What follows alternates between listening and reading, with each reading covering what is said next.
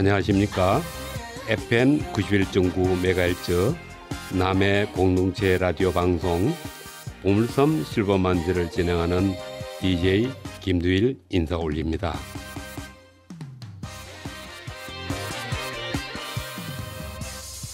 한동안 실버만지를 진행하지 못하였습니다. 요즘이 우리 남해군의 농사꾼에는 제일 바쁜 시절입니다.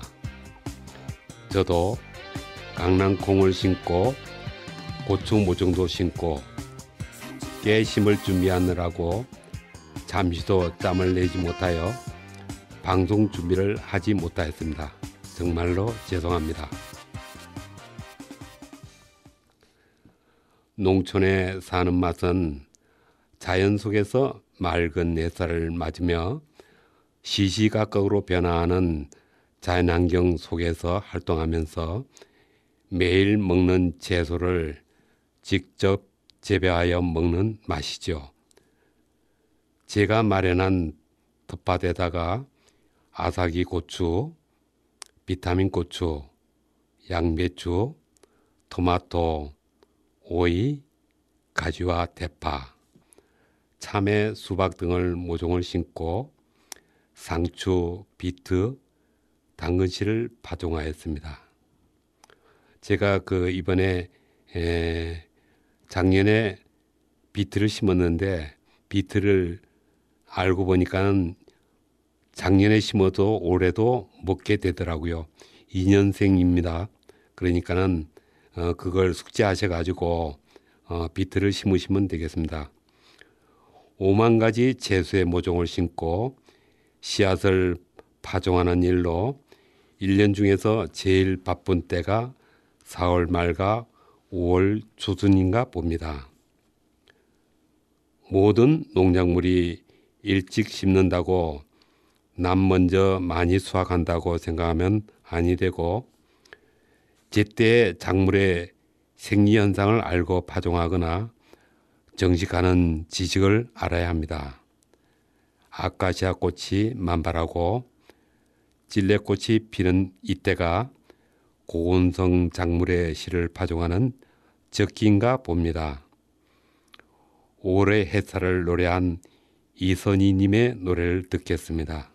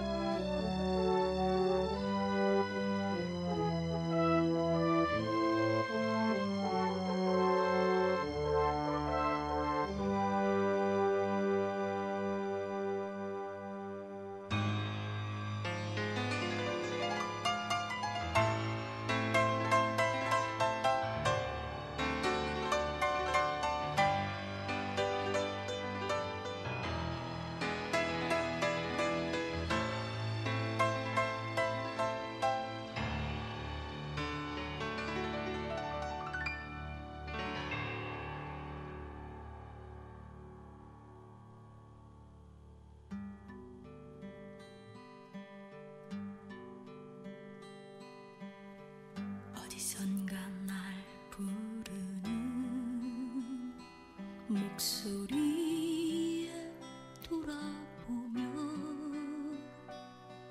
보이는 건 쓸쓸한 거리.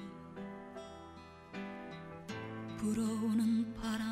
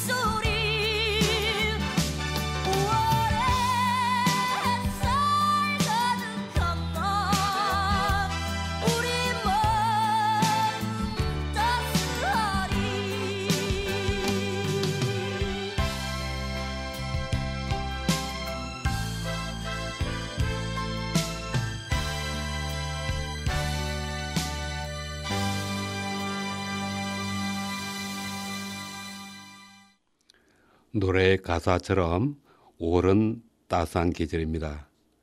어, 연두색이 어, 초록색으로 바뀌어져 가는 따뜻한 계절 맞는 것 같습니다. 아, 4월달 농가 월령가를 말씀드리겠습니다.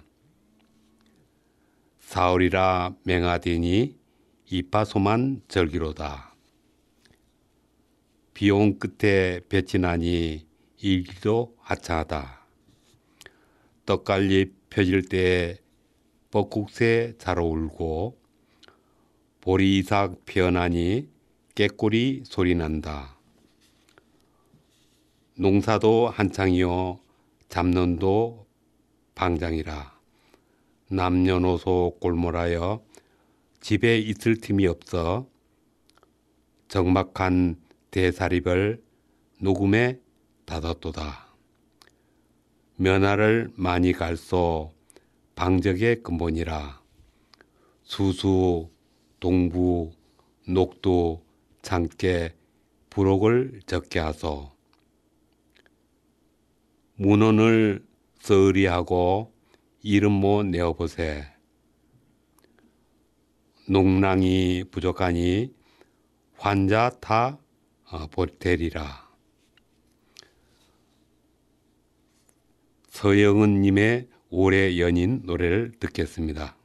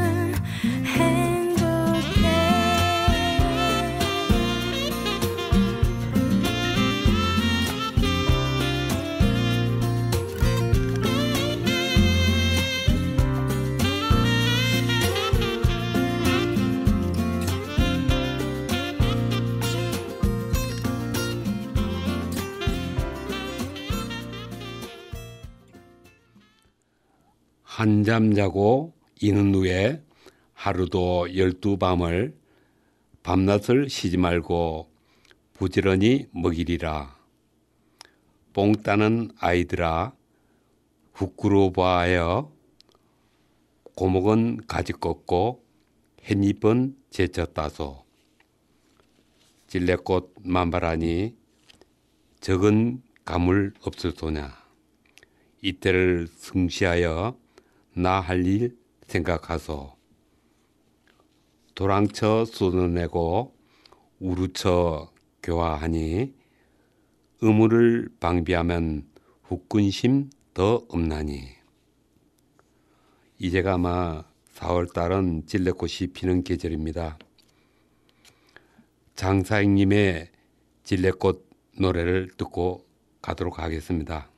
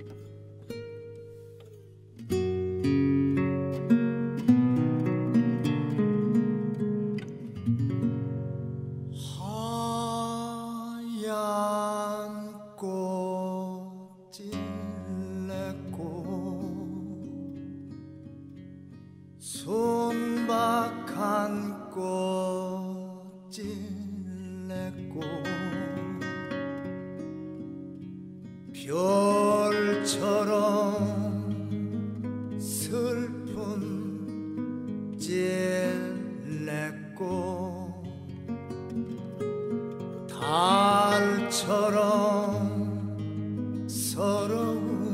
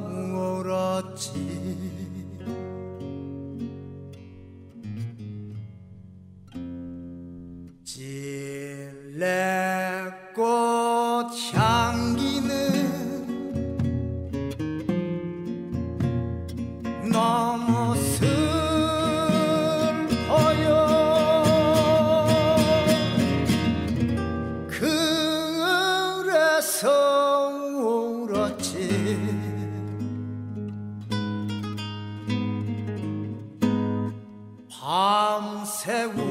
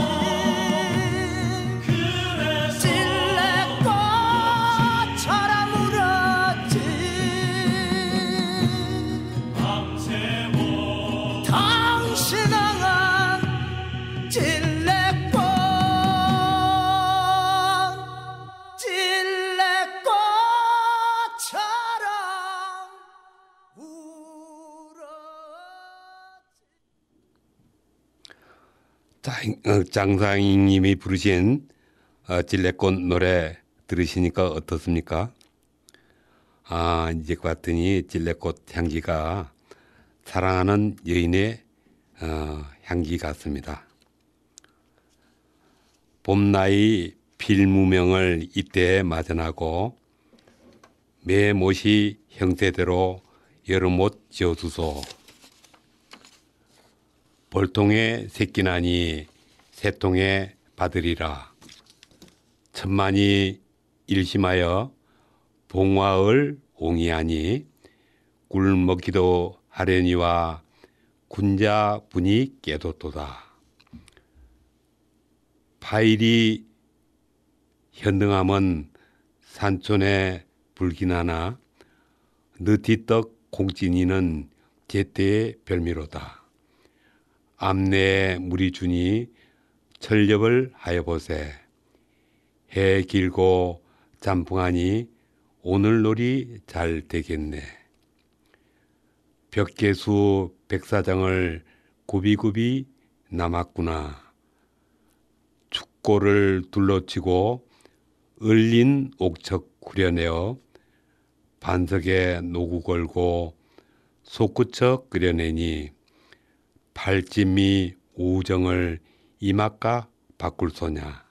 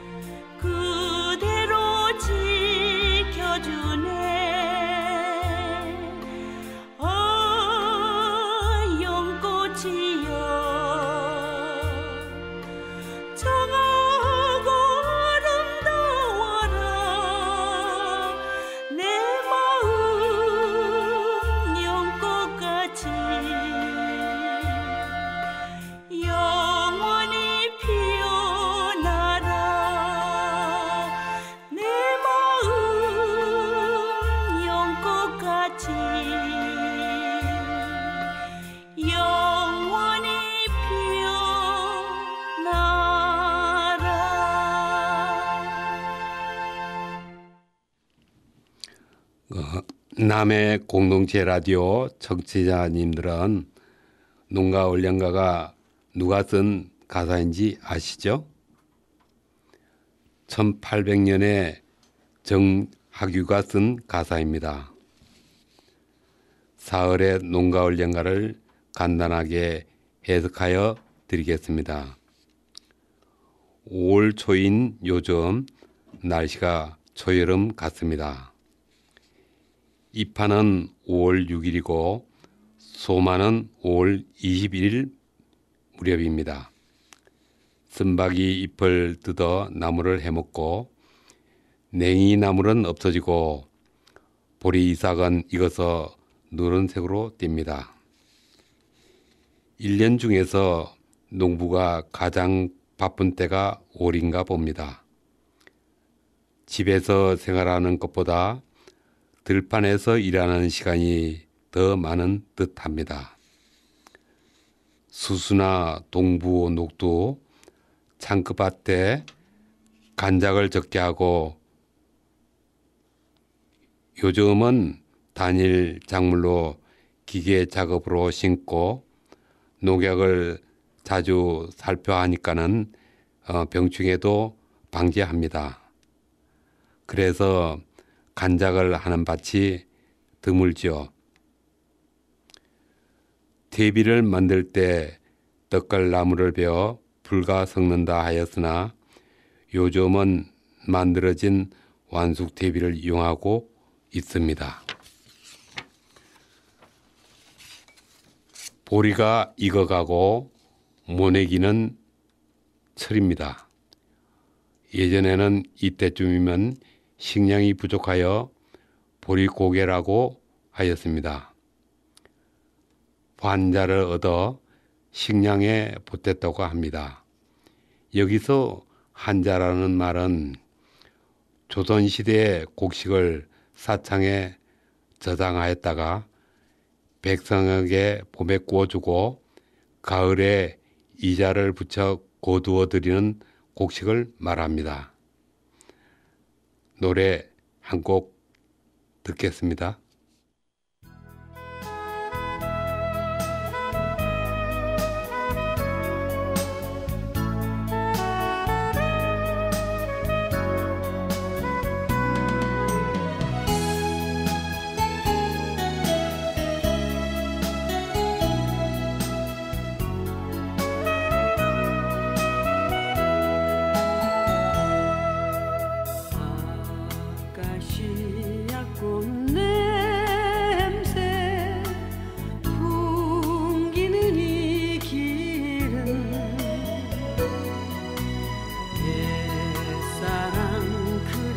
Jesus.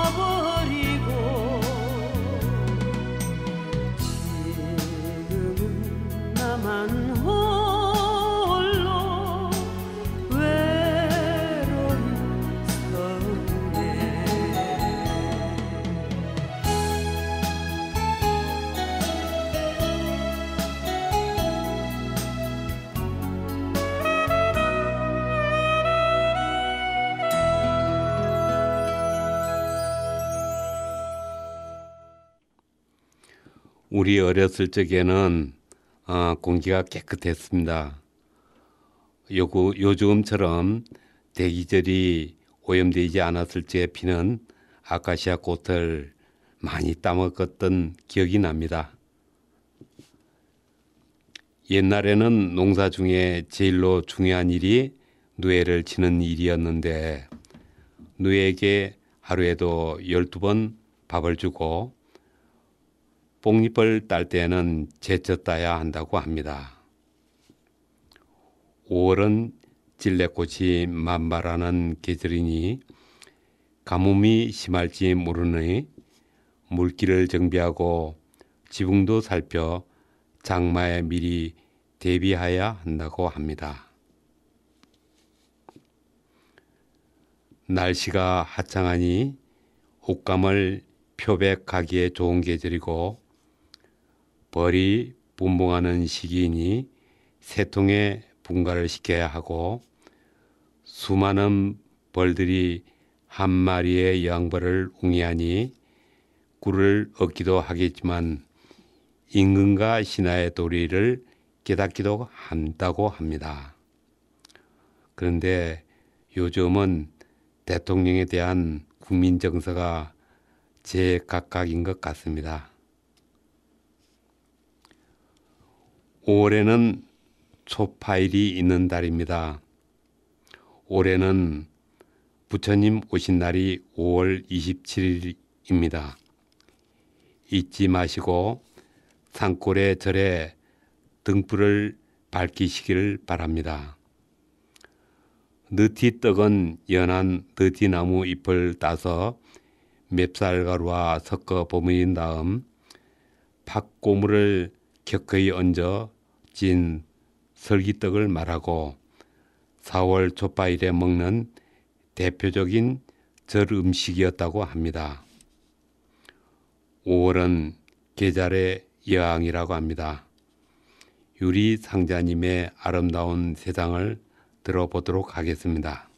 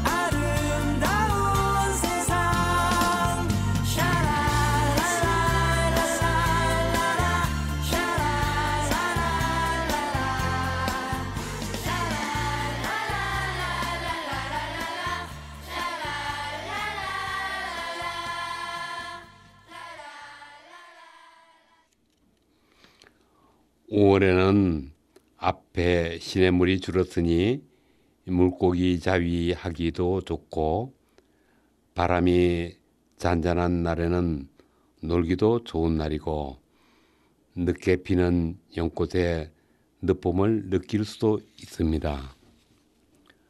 철렵으로 잡은 물고기 바위에 솥을 걸고 그려낸 매운탕 맛이 끝내줍니다. 팔진미나 오정이라도 이 맛에 비길 수가 없습니다. 팔진미는 중국에서 성대한 음식상에 갖춘다고 하는 진기한 여덟 가지 음식에 아주 좋은 맛을 말하고 오정도 매우 맛있는 음식을 이르는 말이라고 합니다. 이단과 같이 어, 농가 원령가에 대해서 어, 말씀을 드렸습니다. 5월은 너무 바쁘고 무슨 음식이든 맛있는 계절인가 봅니다. 애청자 여러분, 아카시아 꽃이 만발하듯 여러 작물 많이 파종하시고 희망의 꿀이 흐르는 5월이 되시기를 기원드립니다. 감사합니다.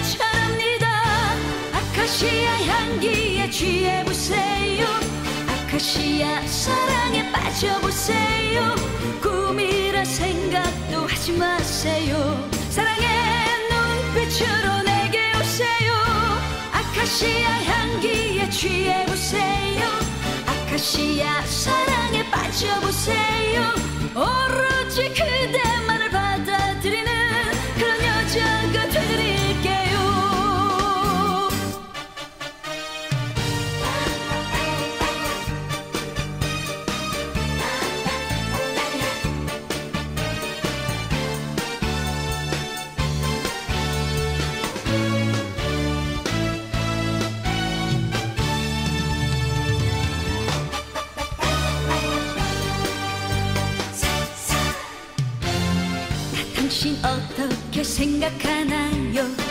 여자의 유혹이라 생각하나요?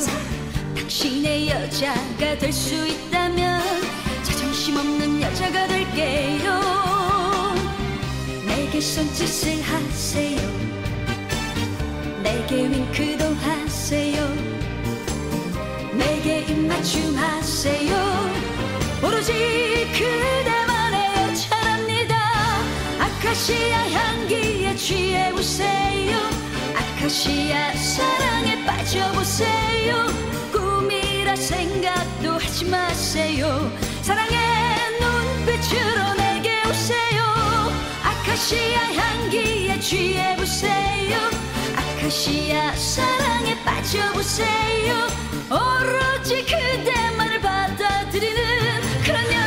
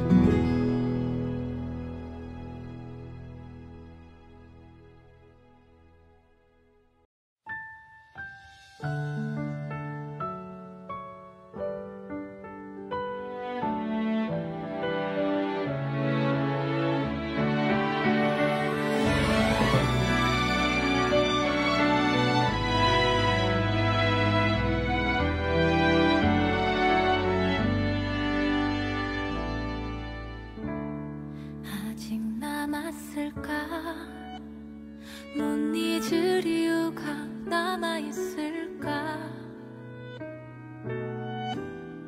나만 왜 이렇게 바보같이 혼자 널 기다릴까 음. 애꿎은 바람들은 말도 안 돼.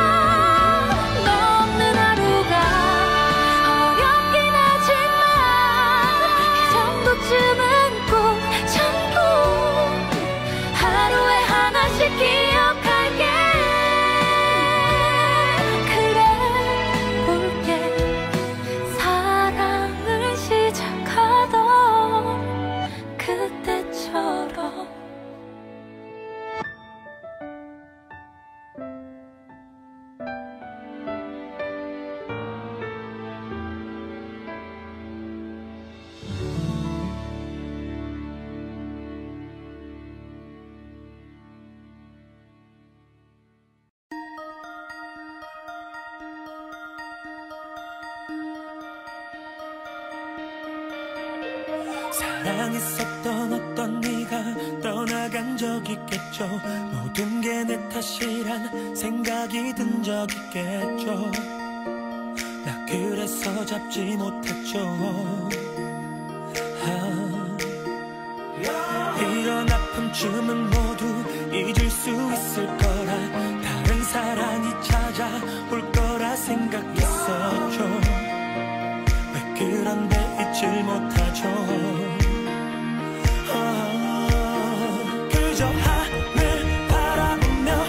记住，他喜欢我那。